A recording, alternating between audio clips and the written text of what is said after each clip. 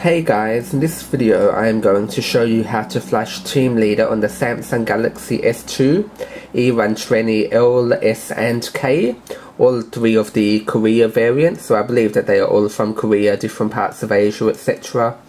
So I have um, written up a few guides on XDA developers, so I wrote them a few months ago, let me find them. Uh, here they are, I am currently on the guide for the E120L, since that is the E120L there. So follow this guide if you have the E120L um, or if you have the E120S or the E120K, um, follow both of those guides. I will put all of the um, links below in the description.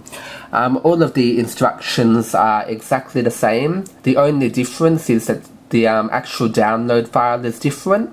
So I don't recommend, you know, flashing the E120S file on the E120K, etc.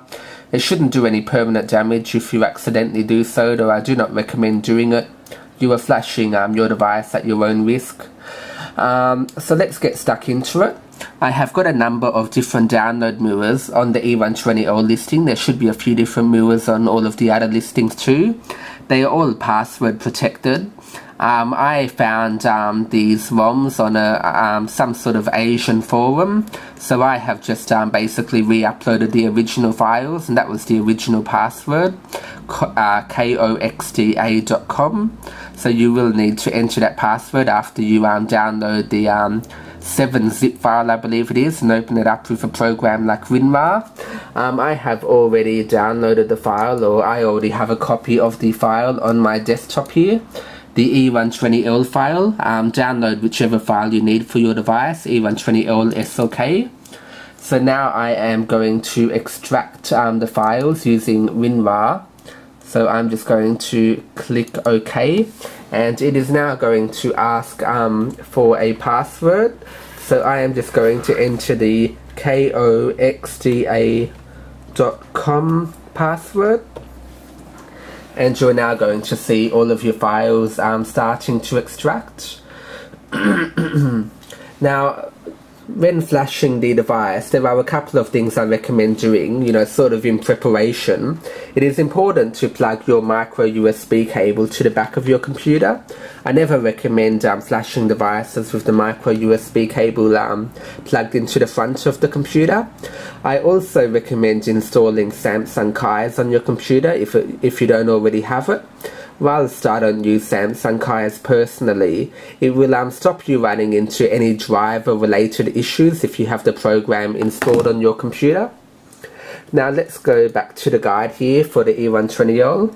So now that we have um, downloaded, um, or now that we have extracted the file I should um, say, let's take a look at the instructions. So we have unzipped the file using the password. Now we need to run Odin Odin is um, Odin is basically used for flashing Samsung devices. So it is used for you know flashing the Galaxy S2, the Galaxy S3, the Galaxy Note, etc. It's a very popular program. This is um, Odin version 1.85. There are newer versions of Odin available. This is, however, the um, version that I have used in the past unsuccessfully. So I am going to continue using it um, for this particular device and ROM. Um, so now we need to navigate to the PDA file. Let's just follow the instructions to keep it simple so you can follow along. So we need to um, click PDA and to select that file which was included in the zip file. So we basically need to click on PDA and navigate to where you unzipped the files. There will be a file inside of it. In my case, it is called PDA under dash team leader version 1.3. This is for the E120L. That might have the same name for the E120S and K, or it might be slightly different. I cannot remember, though basically double click on that. Now, it's important that you don't go around, you know, changing settings that you don't have to because you can risk, you know, bricking your device, etc.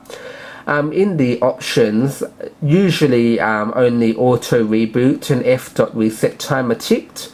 It's best um, not to play with any of these other options here unless you know what you're doing. And you usually don't need to use um, PIT files, you usually only need to use a PDA file or you might have two or three different files you need to navigate to here. Um, so we have done that. Now let's go back to the instructions.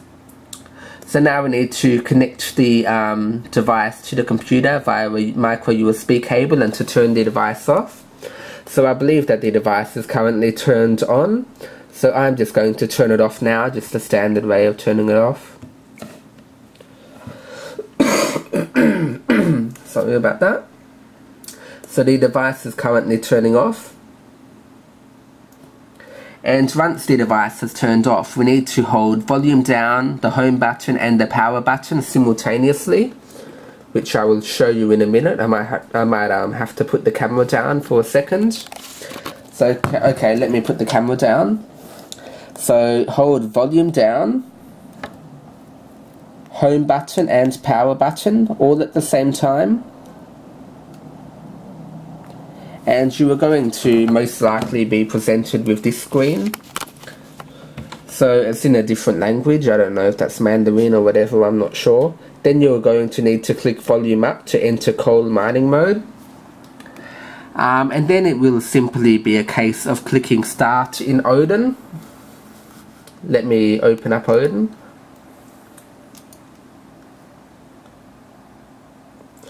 Okay so see that this part here is um, yellow. Um, basically that means that the device is recognized. If the device is not recognized by Odin, then you do not have the um, drivers installed correctly and you will need to install um, Samsung um, keys or cards, however you pronounce it, if you haven't already gotten it installed. So I should now just um, be able to click start. So just um, quickly going over it, the only thing I needed to do is select the PDA file. I'm now going to click start you're going to see a few different messages, you know, come here, you can read them if you want. You don't really have to pay any attention to it. You probably won't see too much um, happening on the screen until it actually um, reboots. And you're going to see a few different messages, um, you know, flash at the top here. It usually only takes a couple of minutes um, for the image to flash. And also, if the um, program ever stops responding, just don't touch it. Just um, walk away from the PC, come back in um, 10 minutes time. Whenever Odin stops responding, it usually um, starts responding again, you know, you know, 10, 20 seconds later, really. I've never had any real issues with it where it's frozen and flashed any devices. And I have flashed a lot of different devices using Odin in the past um, for work. So yeah, as you can see, nothing's really happening on the screen. I presume that it's currently flashing system. Let's see. Yeah, it's currently flashing system.image.ext4, I believe. Okay, now it looks like the mobile is um, restarting. So you're just going to see the Samsung logo and, you know, um, the boot screen pop up and it should um, just um, load straight into the ROM. I'm not sure whether or not you will be presented with the setup screen, I cannot remember. Let's take a quick look. You will either be um, in the setup process or you might just jump straight to the home screen. Uh, yep, and you basically bypass um, the whole setup process. Now you need to keep in mind that these ROMs are um, Chinese or Asian ROMs, um, this device um, was basically sourced from Asia, so the ROMs are Asian. Um, it, they might have a little bit of bloatware in them. Asian bloatware, see a few different Asian applications. Um, they are very easy to remove. Um, to remove them, it is simply a case of um, downloading Titanium Backup from the you know Play Store. Um, yeah, I'd pretty much remove most of them, keep Super User on. Um, you might have some difficulty removing the QQ security app with um, Titanium Backup. And if you have any issues with the keyboard, let me see what keyboard is being used by default. Like if the keyboard doesn't come up initially, just go to settings, language and keyboard, select input method, and just change it from Baidu, which is a popular sort of Asian keyboard, to um, Swype. So then when you go back to um, messaging, you should just have a normal, um, you know, keyboard. Though I personally, you know, recommend downloading a third-party keyboard any, anyhow, like SwiftKeyX, um, which is pretty much the best Android keyboard available.